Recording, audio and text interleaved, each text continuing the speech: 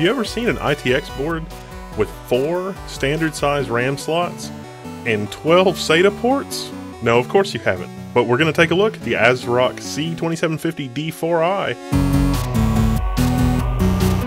Alright, so this is a motherboard that is maybe a little different. Let me explain. So this is based on the Intel Avoton C2750 8 core processor. What that means is this ITX motherboard comes with a processor. Now, technically, this is an Atom processor. Intel builds it as an Atom, but this is not your grandfather's Atom CPU. I would describe pretty much all Atom CPUs as sort of gimped out of the gate, but that hasn't been my experience with this board. This board with the Avoton processor, this 8 core version, keeps up quite handily with a Xeon uh, 1230 V3 in benchmarks and the testing that we're, we're doing. Now, obviously, the Xeon 1230 V3 is going to be faster for some things, but this board for real world performance, file transfers, uh, having it be a file server and things like that, you know, tit for tat, it pretty much keeps up with the Xeon 1230 V3, which is the Haswell version of the Xeon processor. But with this ASRock board, the C2750D4i, the processor is soldered on and it's underneath that heatsink, so passive cooling. Now, the other thing about this board is it has four RAM slots. It supports error correcting memory, which is very important if you're going to run FreeNAS or something like that that's server grade. This whole board is server grade, but we'll get more into that in a minute. Um, it supports up to 64 gigabytes of RAM. Now, right now on ARK, on Intel ARK, the you know the ITX other ITX server boards that have you know like socket 1150, those on ARK say that they only support up to 32 gigabytes of RAM.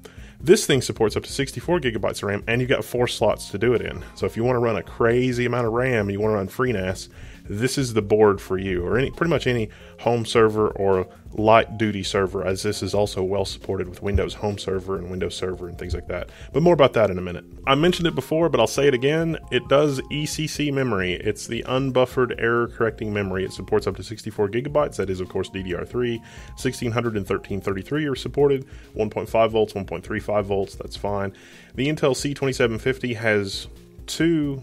Um, SATA 6 gigabit per second ports and four SATA 2 3 gigabit per second ports. This board also has two Marvell controllers, one SE9172, uh, that's two um, SATA 6 ports, and then one Marvell SE9230, that's four um, SATA 3 6 gigabit per second ports.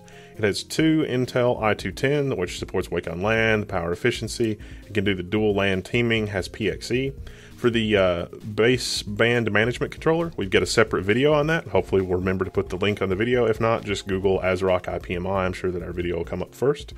Uh, that's powered by the Realtek RTL 8211E. Now, the IPMI function can also share with the built-in Intel port. So, if you don't want to, you know, connect the IPMI on a dedicated port to a de- dedicated switch, you can share it with the LAN. That's how I set it up in the test configuration. Um, it's got a built-in ASPEED AST2300 uh, VGA adapter with 16 megabytes of, of, RAM that supports up to 1920 by 1200. So it's it's great for a server platform. You don't have to put a video card in. It's just the, it's basically a crap built-in video card, but that's all you really need on a on a platform like this. Um, it's got a, a, chassis intrusion switch, so if you're going to put this in a fancy case that will let you know if somebody's taking it apart, you know that's fine. You've got six four-pin fan headers. Um, you've got one USB 2 header, um, which will support one port. It, you can do two internal ports, but you have to move some jumpers around. But just know that it's only got a total of three USB 2 ports. So um, it's a 64 megabit AMI UEFI um, BIOS, you know, plug and play, the whole nine yards. It's got CPU temperature sensing, and you can actually get a graph of that from the IPMI interface, um, motherboard temperature sensing, and voltage monitoring, and all kinds of server grade stuff. Now, there's official support in terms of software for Windows Server 08 R2, Server 2012. Those are x64 edition, so it is 64 bit. This CPU also has VTD extensions, so you can do virtualization. It does not have VTX, so you, if you have a hardware controller or you want to pass through one of those Marvell controllers to a virtual machine running like VMware ESXi, that's not going to work for you on this platform, but you can virtualize with it. That's completely supported by the uh, by the processor and the platform.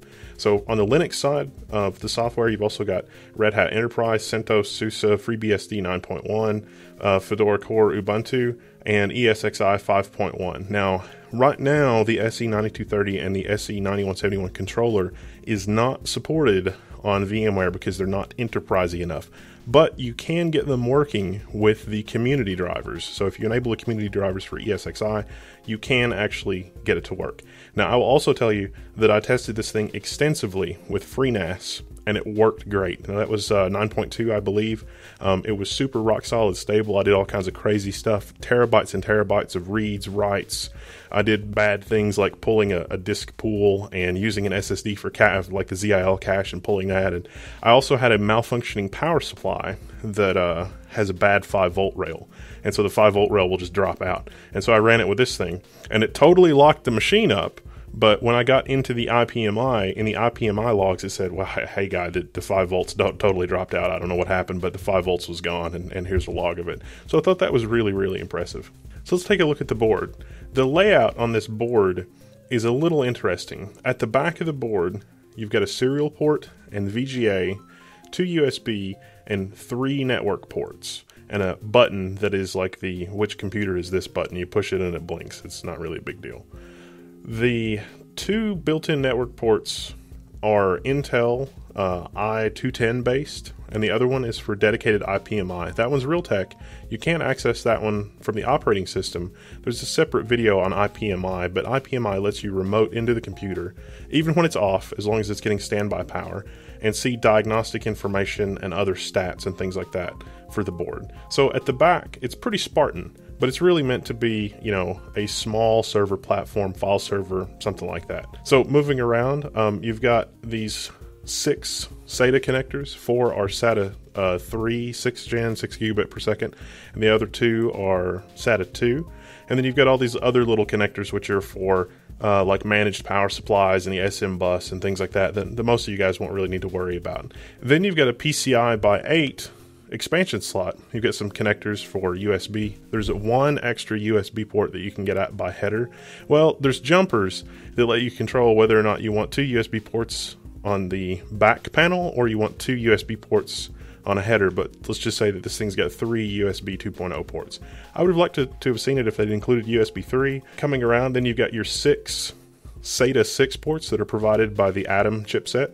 And then you've got your four DIMM slots. This is really the best thing about this motherboard is you've got four regular size DIMM slots. So if you want a powerful machine that you can put a ton of memory in, you're not using notebook memory or anything like that, that is a really really strong feature of this. And then you've got the CPU under the big heatsink, which is passively cooled. So not only is the Intel Atom very low power, it also doesn't really put out much heat. Now in our demo system, we're using a Fractal Node 304. It's very very slow fans, very you know, it's got good airflow, but it's very quiet. And this worked brilliantly with that.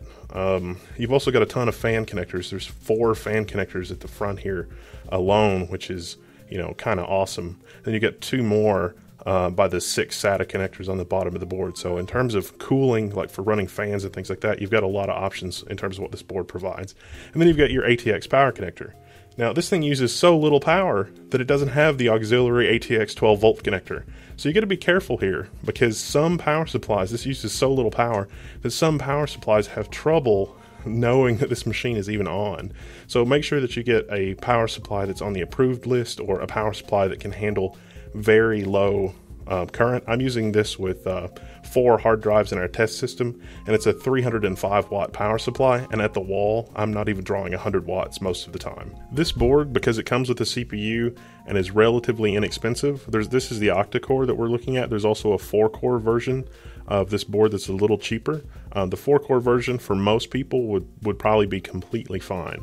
But with FreeNAS, with this eight core version, I was able to copy uh, uh, files over SMB at the full 100 megabyte per second plus that you can get on a gigabit network, no bogging down. I was also with Plex Media Server. I was also able to stream a transcoded video file at 1080p to four different tablets, and the CPU utilization was quite high, but the uh, playback was was stutter free. It was completely fine. This is definitely worth a look if you want a home server that you can set it and forget it, but also has enterprise level features to give you advanced warning of, hey, I've got hardware problems, or hey, I've got power supply problems, or, you know, hey, I'm having problems with this, that, or the other through the IPMI. If it's not booted up, you can remote into it and see, why aren't you booted up? Are you having problems? So I really, really think this platform is worth a look for um, not just the enterprise market that it's targeted at, but also this this could be your next home server. So this is going to get a thumbs up. In terms of complaints or shortcomings, there's not really a lot to complain about on this board. I think it might be nice if there were more USB ports. I mean, you've only got a total of three usable ports. I think there's another port or two that's lurking there somewhere that's probably connected to the IPMI system, but um, it would be nice to have USB 3 because a lot of the other standalone NAS units, like you know, you get a standalone NAS, they have at least one USB 3 port that you can plug an external hard drive into and it'll be fast. With this, with USB 2, if you were going to use the USB for an external hard drive to mirror your NAS onto for like offsite backup or whatever, there wouldn't really be a use case for that. Although you do have the PCI Express by 8 expansion slot, so you could put a USB 3 card in there or a multi IO card or anything like that and be completely fine. Um, the other thing is that for the IPMI feature, I think a lot of you probably won't use that feature, even though it is cool as heck. But uh, to save money, I would it would be nice if there was a version of this board where they just didn't solder the IPMI function on the board. That would be a fast, easy way to deliver this amazing platform at a little bit cheaper price point for a particular market that maybe has not yet been considered. But don't let that turn you off. The IPMI really is an awesome, awesome feature. I mean, it will totally save your bacon one day, but you know, it's hopefully it's a thing that you rarely, if ever, need. But if you're in an apartment or somewhere that you don't have a lot of space, you don't have to hook up a monitor, keyboard, and mouse to this. Literally, the IPMI is a remote keyboard, monitor, and mouse. Check out the video because uh, this thing will also record and save video of like when it crashes, and then you can play back the video later. So the IPMI is pretty cool feature, especially if you're in a small apartment, like a city apartment or something like that, and you want a powerful media server. I mean, the Node 304 you could stick in some unused corner of your apartment. You wouldn't even know it's there. It's quiet. Don't even need a keyboard, mouse, and monitor for it. You can just remote into it, even when you're doing the operating system install, and it'll work fine. I really like it. I like it so much that I'm going to use it at home. So until next time.